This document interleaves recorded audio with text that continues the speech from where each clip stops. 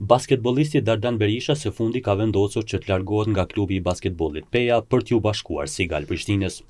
Ky transferim bëri bujë të madhe në basketbollin vendor pasi Berisha është njëri nga basketbollistët më të spikatur që ka ky sport në vendin tonë. Largimi i tij nga KB Peja, Berisha thotë se erdhi pas një marrëveshje të dyanshme, por që sipas tij, disa gjëra kanë mbetur ende pa u definuar mes tyre, derisa shton se me Prishtinën kanë ambicie të mëdha. Ambiciet e klubit, unë me, me, me Pejën i kena arrit ato qëllimet tona, me,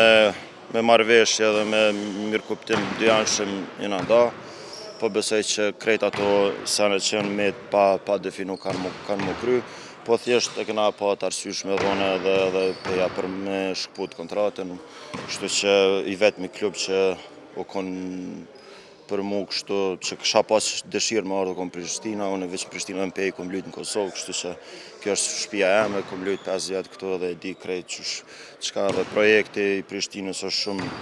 shumë i mirë ambicioz dhe në gara ndërkombtare dhe këtu vendore, Prishtina po do m'u kthy aty ku e ka vendin domethonë në top,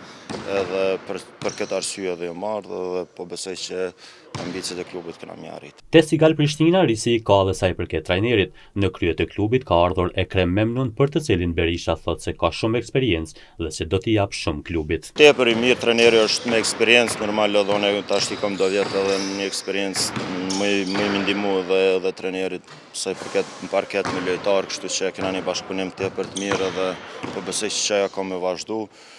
Ka me na ndihmu shumë treneri që ka ardhë, është shumë, shumë serioz dhe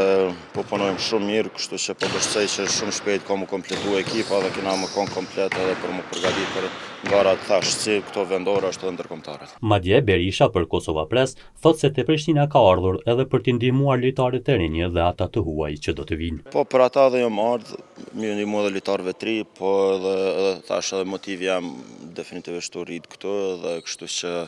Kjo është ndihmë për për krejt edhe për mua edhe për lojtarë të ri, por edhe për klubin po besoj, kështu që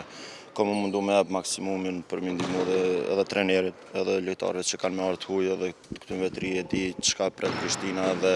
edhe ligën e Kosovës e di edhe këto ndërkombëtare të njëjtë, kështu që po besoj që krejt janë plus me këtë transferimin tem në Prishtinë. Reprezentuesi kosovar parasheh luftë të ashpër për titull në edicionin e ri garues të Superligës së Kosovës. Po, ka me kon e fortë, kjo është shumë e mirë e basketbollit, domethënë konkurrenca është është në rritje, janë ekipe që janë përforcu dhe janë shumë ma ma serioze se që kanë qenë, kështu që kjo është e mirë edhe edhe për basketbollin e Kosovës edhe për konkurrencën edhe për tifozët, po shpresoj që tifozët kanë me mbush secilën sallë dhe Ka me kon ajo atmosfera që basketbolli din me dhanë sportin e Kosovës. Lufta ka me kon shumë e ashpër, po, po besoj që në fund ka me arrit qaj që është ma i përgaditun edhe, edhe normal ekipa ma e mira ka me fitu. Shumë i lumtur me ardhjen e Dardan Berishës në klub u shpreh edhe trajneri Ekrem Memnun i cili për Kosova Press tha se eksperienca e një lojtari si Dardan Berisha ishte duke i munguar shumë klubit. Also Dardan is with us,